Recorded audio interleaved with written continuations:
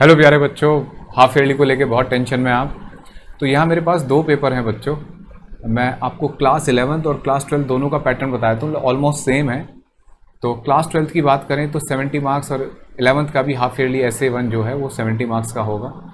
जिसमें से अगर मैं ट्वेल्थ का बता दूँ पहले आपको 25 मार्क्स का आपका very small question assertion reason M होंगे। और लगभग 10 मार्क्स में आपके दो केस स्टडी प्रॉब्लम होगी, जिसमें आपको पैसेज दिया जाएगा, उसमें से क्वेश्चन आपको क्रैक करने होंगे, ठीक है? और 35 मार्क्स के क्वेश्चंस होंगे टू मार्क्स थ्री मार्क्स और फाइव मार्क्स की कैटेगरी में जाएँगे, जो सब्जेक्टिव होंगे डेरिवेशंस होंगे, जो भी है, ठीक है? और इस तरीके से मैं आपको ये इलेवंथ का एक पेपर दिखा देता हूँ, आप इस पेपर को देख लीजिए, अगर आप इस पेपर को भी क्वेश्चन को भी समझ जाएँ तो भी आपको बहुत हेल्प मिल जाएगी पेपर में। ये, और ऐसे बहुत सारे पेपर हमारे ऐप के ऊपर अवेलेबल हैं वर्कशीट अवेलेबल हैं, जिन्हें आप करके हर चैप्टर के मेन क्वेश्चंस जो आपको कम से कम आने चाहिए, वो प्लस एक्स्ट्रा क्वेश्चन जिनसे हंड्रेड परसेंट कमांड बन जाएगी आपकी, वो भी आप कर सकते हैं। फ़िलहाल हम इसके बारे में बताता हूँ मैं। जैसे इसमें क्वेश्चन पेपर जो है पूरे पाँच सेक्शन में डिवाइड कर दिया। ज़्यादातर क्वेश्चन पेपर इसी फॉर्मेट पे होंगे, थोड़ा बहुत वेरिएशन हो सकता है।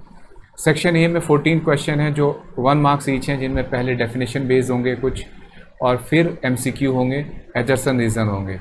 फिर दो क्वेश्चन केस स्टडी के होंगे नाइन क्वेश्चन जो होंगे, इसमें टू मार्क्स के हो जाएँगे थ्री क्वेश्चन थ्री मार्क्स के हो जाएँगे और थ्री क्वेश्चन फाइव मार्क्स के हो जाएँगे, बड़े डेरिवेशंस ठीक है? कोई चॉइस नहीं है इंटरनल चॉइस है, ठीक है? तो जैसे देखो सेक्शन ए है, इसमें पाँच क्वेश्चन पहले डेफिनेशन टाइप आ गए, फिर ऑब्जेक्टिव ठीक है?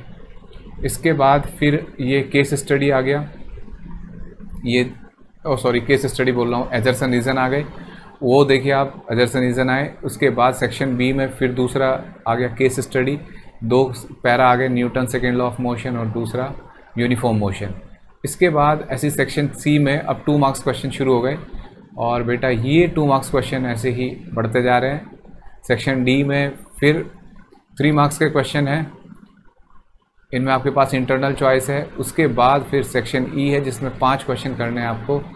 थ्री तीन क्वेश्चन करने फाइव मार्क्स के। ठीक है? इनमें इंटरनल चॉइस दे रखी है। ठीक है बेटा? तो इस तरीके से ये पूरा पेपर आपका इस तरीके का ही पैटर्न का आपके स्कूल में आएगा।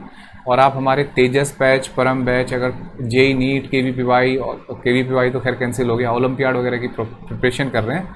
तो मेरे फिजिक्स के जो बैच हैं, उनमें आप ज्वाइन कर सकते हैं। परम बैच ज्वाइन कर सकते हैं। टेस्ट सीरीज़ है हमारी वर्कशीट है।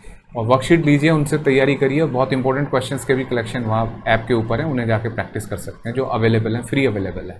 Wish you all the best बच्चों, बढ़िया से पढ़ाई करिए। Thank you